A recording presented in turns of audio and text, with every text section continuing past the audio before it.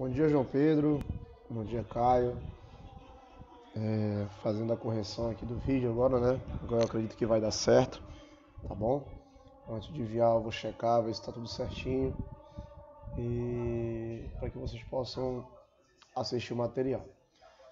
Bom, é, eu, só, eu só tenho só tenho a agradecer primeiramente pela confiança que vocês têm, têm colocado no trabalho e espero retribuir da melhor maneira possível né, e impossível para que o João Pedro melhore seu rendimento tanto individual quanto coletivo.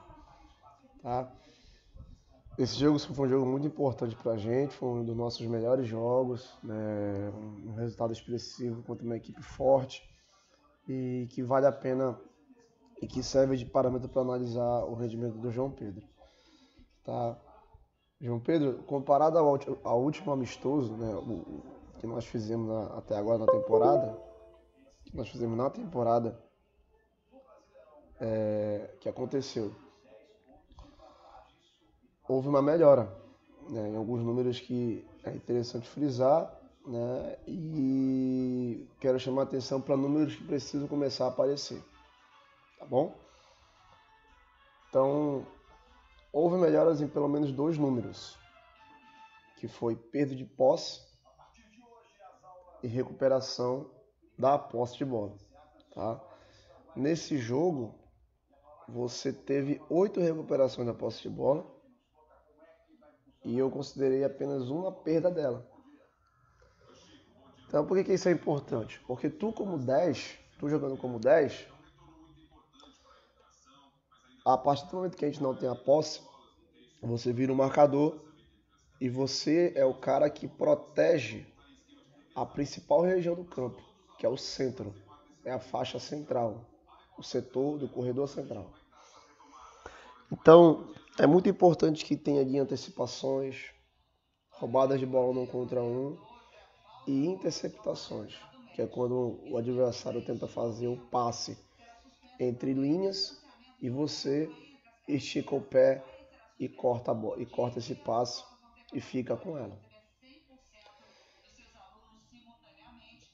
Quando a gente tem a bola, é muito importante que você dê fluência ao jogo, ou seja, que você não deixe o jogo parar, não deixe o jogo desacelerar quando a bola cai no teu pé. Assim como o contrário, que você não dê fluência quando o jogo está muito acelerado, você tira um pouco desse ritmo do jogo. É isso que a gente quer dizer de dar ritmo. Então, nessa tua posição, é muito importante que tu saiba dar o ritmo para ele, para a circulação de bola. Se está muito lento, acelera. Se está muito devagar, se está muito rápido, desacelera. Se está no nível adequado, mantém. Se está no ritmo adequado, mantém. Essa é a tua principal função. Isso como tu jogando em qualquer time entendeu? E aí é muito importante que tu não perca a bola, para que esse ritmo não seja perdido, para que a gente não deixe de envolver o adversário. Quando tem somente uma perda da posse, né, é muito interessante esse número. Afinal, tu jogou em torno de 16 minutos. Então foi tempo suficiente para te avaliar para o nível que você joga hoje, que é um nível um pouco mais alto do que em outras escolas de futebol tá? Um número importante, passes, de, passes que puderam gerar gol, né? Foram dois, na verdade, em um lance só. Foram dois em um, né? Dois passes em um lance só. É que o programa de só registra um, entendeu? E um número que eu acho que precisa aparecer, mas aí eu acho que não é, não depende somente de você, é o de finalizações entendeu? Não é que a partir de hoje tu vai finalizar porque tu tem que finalizar, mas você vai finalizar quando a situação realmente pedir. E aí depois a gente pode levar isso para a terceira análise para fazer o seguinte questionamento. Houver, houve lances onde ele tinha que finalizar e não conseguiu, e não finalizou, ou ele não teve essa oportunidade. Tá bom? Eu vou levar isso como observação para a nossa próxima análise, né, que já está marcada. Beleza? Então vamos começar aqui.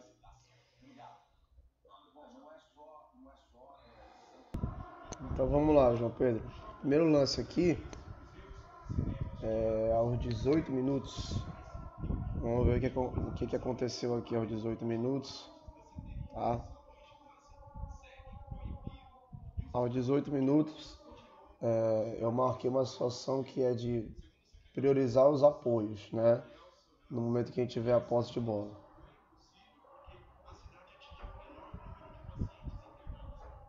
Tá, vamos lá. Isso aqui é o seguinte, é um lance difícil do jogo, tá, João Pedro? Eu entendo perfeitamente. Mas olha só. A partir do momento que você tá de costa pro jogo, prioriza quem tá de frente. Ao invés de tentar fazer esse giro. Entendeu? Abre o braço, afasta esse jogador aqui de cima de você e usa um apoio.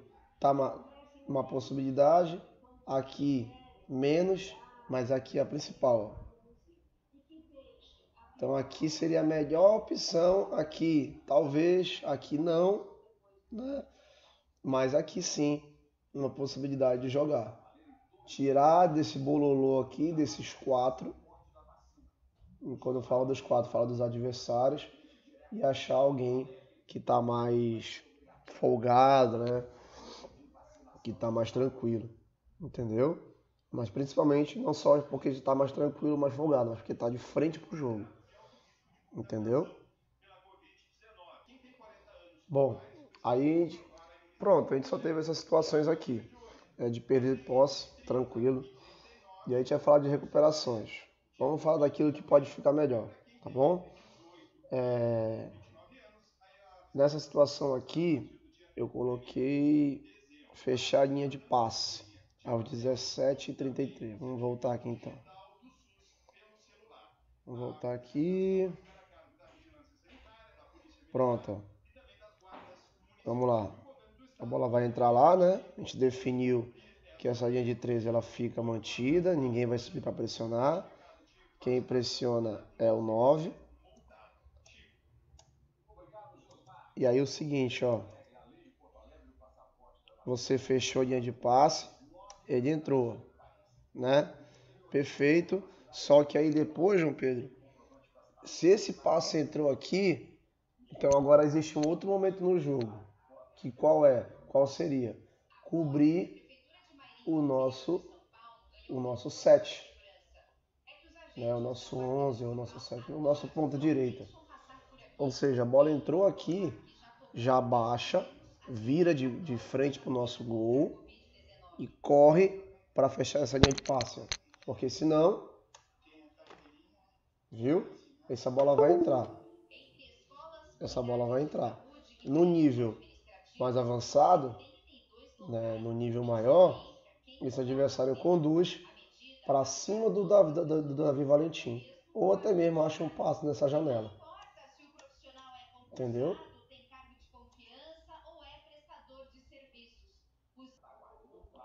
Tá, vamos lá. Esse lance aqui é o seguinte, cara, ó. É, arremesso lateral, lembra que eu te falei, né, da situação de ser competitivo nesse momento do jogo, né? Aqui o cara dribla para trás, não tem problema, mas aqui, ó, técnica de abordagem, cara. Você não aborda de frente. Porque para onde ele der o tapa, você não vai conseguir pegar ele depois. Entendeu? Você não vai conseguir pegar ele depois. Fica de lado que se ele der o tapa para frente, você já está pronto para correr para trás. Me cobra isso hoje no treino.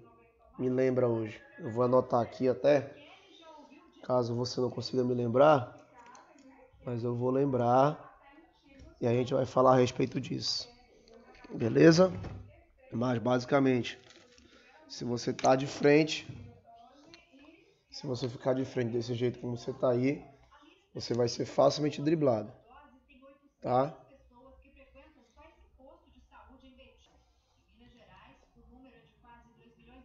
Aqui, ó, a atitude foi legal, ó.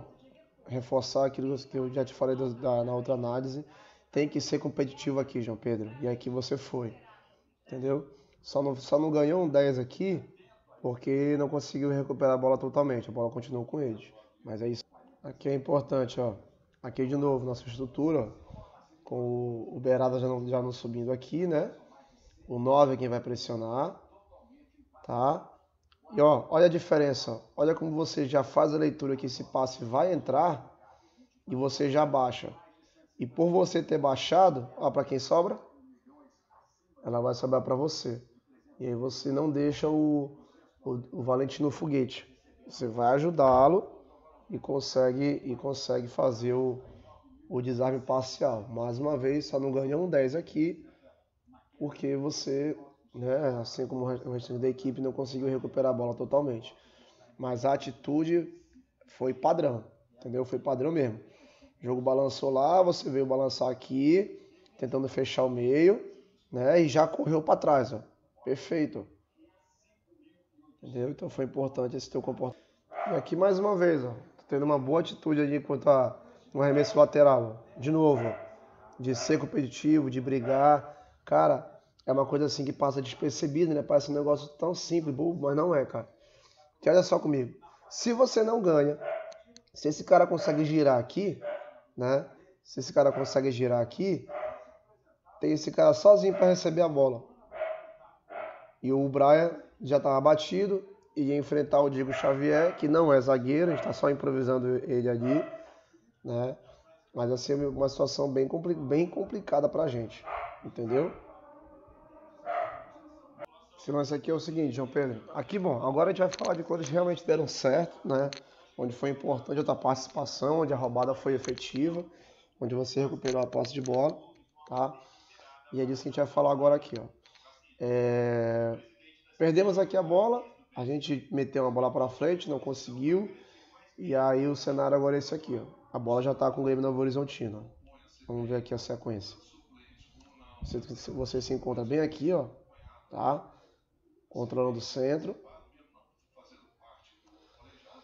E aí, cara, olha só, geralmente a gente sempre vai vai estar, tá, João Pedro, com quatro no campo do adversário quando nós não tivermos a bola. Então, mais uma vez, em fase sem bola, em organização defensiva, marcando no campo do adversário, geralmente a gente vai estar tá com quatro jogadores lá. E se os caras estiverem com 4 ou com 6, a gente precisa saber marcar 4 ou 6. A gente precisa ter atitude para ganhar de 6. De 6, de 5, de, ou até mesmo de. E, e, com certeza de 4. Tá? Então olha lá. Olha o que você faz aqui. Você consegue dar a volta. E o que te facilitou. Opa, passei um pouquinho aqui. O que facilitou para você é que você estava no ponto certo, no lugar certo né? E aí o cara tava à tua frente, olha só, ele tava à tua frente. Ele perde tempo na aceleração e você consegue tomar na moral a bola dele. Tomou, beleza. Aqui a, posse já é sua. Aí, lógico, aí, aí já numa fase ofensiva tu não conseguiu dar sequência. Mas é, e aqui por azar a bola, a bola bateu em você aqui e não conseguiu manter a posse. Mas o Edson que eu quero que tu tire desse vídeo. Tem que ter essa atitude, tem que estar tá bem posicionado para cada, cada situação onde estiver a bola, para poder quatro saber marcar mais de mais de cinco jogadores, cinco ou mais jogadores, entendeu? Então, por que que tu conseguiu roubar a bola aqui, ó? Porque nós éramos, porque você estava junto com, você fechou o quarteto, né? E estava bem posicionado, era aqui que eu queria você. Não é aqui que eu queria. Porque, por exemplo, tu pode estar no campo defensivo, no campo ofensivo, né? No campo, no, no campo do, do, adversário, pode. Mas pode estar mal posicionado. Né? Podia estar aqui. Se tu tivesse aqui, se tu tivesse aqui, por exemplo, talvez não servisse tanto, né? Mas você estava preocupado em fechar o centro aqui, ó. Só fica ligado de dar uma olhadinha antes para saber se está certo, porque você também não olhou para trás, tá? Talvez se você tá um passinho à frente, talvez tu consiga até antecipar e fazer um 2 contra 1 um aqui, você e Matheus contra esse cara aqui. Beleza? Bom, aqui a gente vai falar de, de, de um lance interessante, que, tu te, que foi um destaque daquele vídeo que a gente falou sobre, durante o amistoso. É o perde-pressiona após a perda da posse. Olha lá. Daqui a pouco a gente vai comentar do, do passe que você fez aí, né? Dos passos que você fez, na verdade, nesse lance. Mas olha só, Renato perde o gol, né? Perde a chance do gol. E aí começa a fase de transição defensiva. E aí onde é que você vem, ó? Você vem aqui em cima do. Já vem aqui fechando o meio. De novo, ó. quatro nosso. Viu? Quatro nossos no campo do adversário. Perfeito, ó. E aí você volta perfeito e ainda acha mais um passo para gol. Ou seja, no mesmo lance você deu dois passos para gol. Então, perfeito, João Pedro. Muito bom, cara. Muito bom mesmo.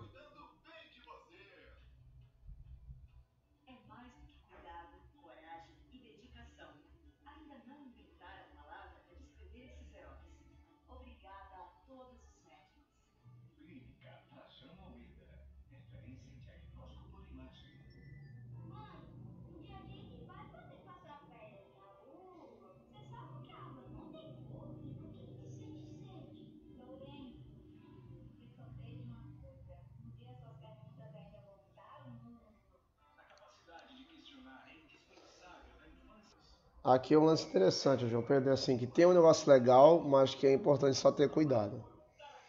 Leitura, ó. Fez o, fez o domínio aqui de... O adversário fez o domínio de costa, né? Fez o domínio aqui de costa. E só procura ter o cuidado de não colar muito nele não, viu? Ó.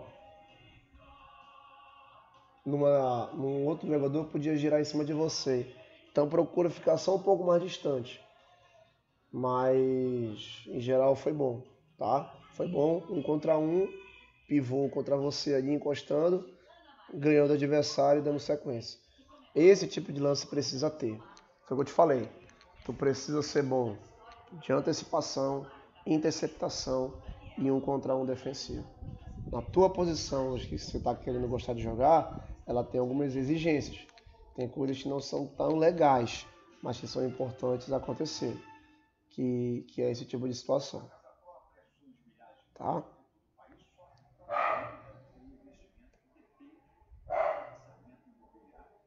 Vamos falar aqui dos passos importantes agora. Vamos lá. Vou mostrar os teus dois lances aqui. Aqui não tem muito o que dizer não, cara. É só te parabenizar, velho. Olha a visão de jogo que você tem aí, ó. É um tipo de situação, cara, que tu pode explorar, porque no arremesso lateral, se a bola volta para você, sem olhar, pode jogar na área. Pode jogar na área porque sempre vai ter alguém nosso na área. No arremesso lateral. Pode jogar na área. Entendeu? Aí o teu pé de pressiona foi muito legal. E tu encontra mais um passe de gol. Você encontra mais um passe de gol. É isso. É isso aí. Beleza? O próximo vídeo eu vou atentar essa questão de finalização por que, que você está tendo poucas finalizações, tá certo? E eu espero que esse, esse vídeo possa te ajudar no teu rendimento. Tá bom, meu amigo?